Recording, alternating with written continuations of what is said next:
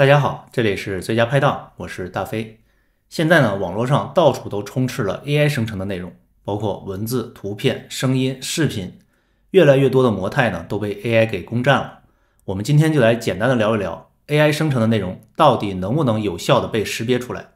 我们以现在最流行的 AI 检测工具 GPT Zero 为例，如果我们把美国宪法的文本放到 GPT Zero 里，它会告诉你这份文件肯定是由 AI 生成的。同样呢，对于圣经中的内容，检测工具也会告诉你，有百分之八十八点二的几率是 AI 编写的。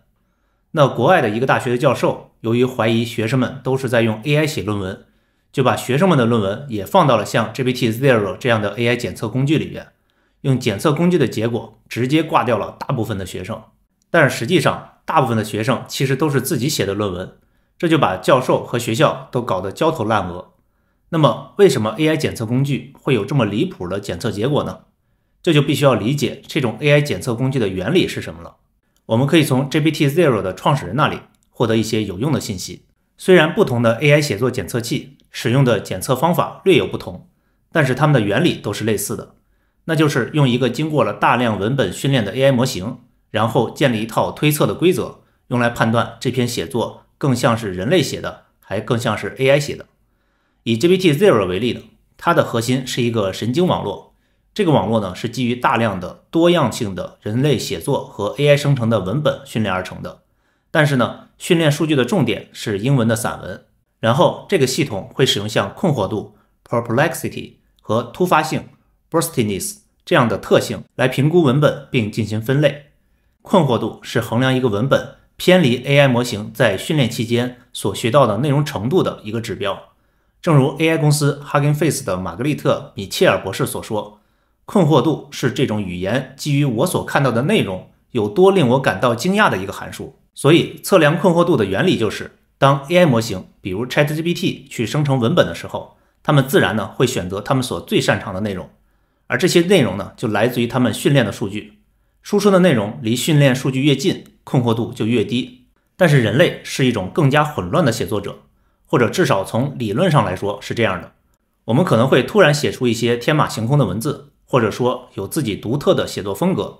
但是人类呢，也可以写出低困惑度的文字，特别是当按照法律或者某些学术风格来写作的时候。除此之外，人类使用的许多短语其实是出奇的常见，或者说是完全可以预测的。比如说，作为人类，如果我们要猜测“给我来一杯”这句话中的下一个词是什么？那么大多数人呢，可能会在这个空格上填上水、咖啡、茶、饮料啊等等这些词。实际上，一个接受了大量文本训练的语言模型，它也是这么做的。因为这些短语或者词组在写作中是经常出现的，所以从 AI 的角度来看，任何这几个结果的困惑度都会非常低，因为预测会相当的准确。现在呢，如果出现了一个不太常见的填空答案，比如说我想要一杯蜘蛛。那么人类和一个训练有素的语言模型就会感到相当的惊讶，或者说感到困惑。什么是一杯蜘蛛呢？它的困惑度就会很高。因此，如果一篇文本中的语言对于经过训练的模型来说，并不让它感到惊讶，那么文章整体的困惑度就会很低。所以 AI 检测器呢，就更可能的将这段文本认为是 AI 生成的。这就是为什么美国宪法被认为是 AI 生成背后的原因。本质上，美国宪法文章中所使用的语言，在这些模型中已经是非常根深蒂固了，以至于对于 AI 检测器来说，它的困惑度就非常低，从而做出了错误的判断。GPT Zero 的创建者 Edward 田曾经说过，美国宪法呢是一个被反复输入到许多大语言模型训练数据中的文本，因此呢，这些大语言模型训练的结果就是能够很容易的生成与宪法和其他常用训练文本相似的文本。而 GPT Zero 在预测这些大语言模型所生成的文本的时候，就会出现这种现象。问题在于，我们人类也完全有可能创作出困惑度很低的内容。比如说，我们写的文章中可以都是大白话、常用的句子，类似于“我想要一杯咖啡”这样的句子，这就会让 AI 检测器的结果呢变得很不靠谱了。因此呢，仅仅利用语言的困惑度来鉴定文本是不是 AI 生成的，这种方法并不可行。那么还有什么其他的方法吗？GPT Zero 衡量文本的另一个属性是突发性，指的是某些词或者短语在文本中快速连续或者突然出现的现象。本质上呢，突发性是在评估文本全程的句子长度和结构的变化性。人类往往会有比较动态的一些写作风格，产生的句子长度和结构呢是比较多样的。比方说，我们可能会写一句长而且复杂的句子，然后接着呢是一句短而简单的句子，或者我们可能在一句话中使用一连串的形容词，然后在下一句中呢一个形容词也不用，又或者说呢我们突然写出了一大段的排比句。这种变化性呢，是人类创造性和自发性的一个自然产物。另一方面，AI 生成的文本会更倾向于使用更加一致和规整的节奏，至少目前为止啊，还是这样的。那处于早期阶段的大语言模型生成的句子长度和结构呢，会更加的规则。这种缺乏变化性的现象会造成突发性分数比较低，从而表明文本可能是 AI 生成的。但是啊，我们稍微想一下就会知道，突发性也不是检测 AI 生成内容的万全之策。就像困惑度一样，人类也可能以一种高度结构化以及一致的风格来写作，导致突发性的分数很低。反过来呢，一个 AI 模型可能经过特定文本的训练，可以来模仿更加人性化的句子长度和结构的变化性，提高它的突发性分数。实际上呢，随着 AI 语言模型的改进，有研究表明，它们的生成结果已经越来越像人类的写作了。最终呢，可能不会存在一个非常简单。而且巧妙的区分人类写的文本和机器写的文本的方法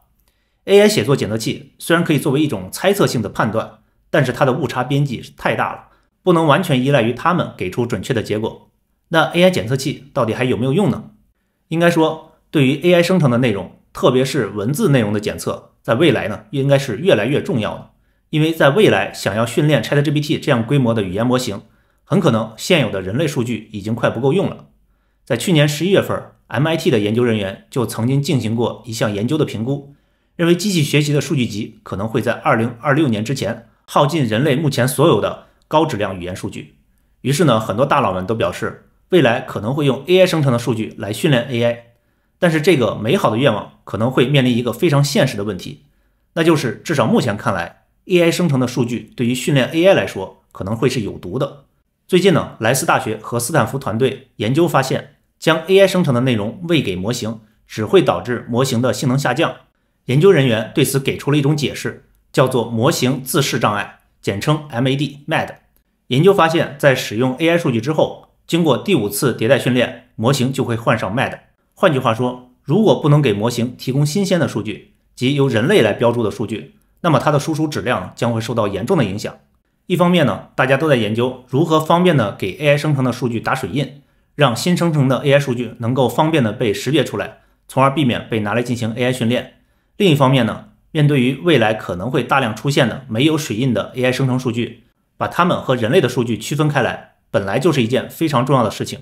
否则呢，整个人类世界的信息就会被逐渐的污染掉，没有人知道什么是真实发生的，什么是 AI 生成的。目前来看呢，在如何检测 AI 生成数据上，还需要进一步的技术突破。大家对这方面有没有什么好的想法？可以发在评论区讨论一下。